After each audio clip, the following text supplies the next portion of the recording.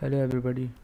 Today i will give you an, an overview of polymorphism of c sharp with what is that and why it's important and why we need to use polymorphism in c sharp. Polymorphism. Polymorphism in c sharp. Polymorphism is a greek word meaning one name many forms. In other words one object has many forms or has one name with multiple functionalities. Poly means many and morph means forms. Polymorphism provides the ability to a class to have multiple implementations with the same name. It is one of the core principles of, of object-oriented programming. After encapsulation and inheritance, it is uh, in this uh, article you will learn what polymorphism is, uh, how it works, and how to implement polymorphism in C Sharp. There are two types of polymorphism. Number one, static compile time polymorphism. Number two, dynamic runtime polymorphism. As you can see in this uh, diagram, polymorphism and its two types. Static or compile types have two more types over methods and operate overloading method overloading operate uh, overloading and dynamic or runtime have only one virtual overriding method. Static or compile time polymorphism. It is also known as early binding method overloading in an example of static polymorphism. In overloading the method function has a same name but different signatures. It is also known as compile time polymorphism because the decision of which method is to be called is made at compile time. Overloading is a concept in which method names are the same with a different set of parameters. Here C sharp compiler checks the number of parameters passed and the type of parameters and make the decision of which method to call and how it throw an error or if no matching method is found dynamic runtime polymorphism. Dynamic runtime polymorphism is also known as a late binding. Here the method name and the method signature.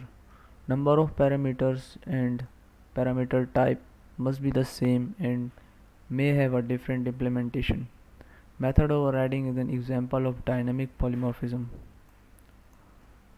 Method overriding can be done using inheritance. Uh, with method overriding it is possible for the base class and derived class to have the same method name and same something. The compiler would not be aware of the method available for overriding the functionality so the compiler does not allow does not throw an error at compile time. The compiler will decide uh, which method to call at runtime and if no method is found then it throws an error. The compiler requires an area method and it compiles successfully.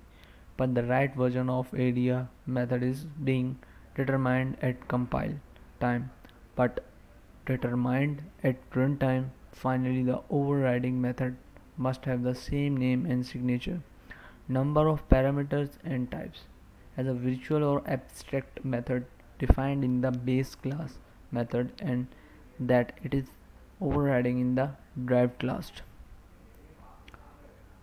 A method or function of the base class is available to the child derived class without the use of the overriding keyword. The compiler hides the function or method of the base class.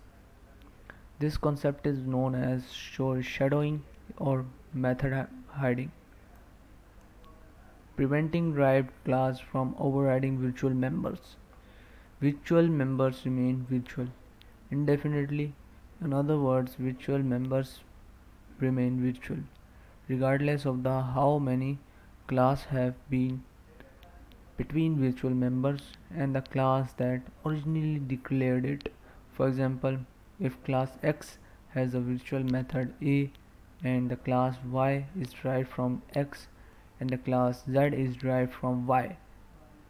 class z inherited, inherits the virtual method a and override it. Summary of this video. The meaning of polymorphism is one name having multiple forms. The following are the two types of polymorphism. Number one, static or compile time polymorphism, for example, method overloading and over operator overloading. Dynamic or runtime polymorphism, for example, overriding. Method overriding differs from shadowing. Using the new keyword, we can hide the base class member. We can prevent a derived class from overriding virtual members. We can access a base class virtual members from the derived class. Well, thanks for watching this video. If you have any queries, let me know below in comment box. And please like and share this video and please subscribe my channel. Thank you so much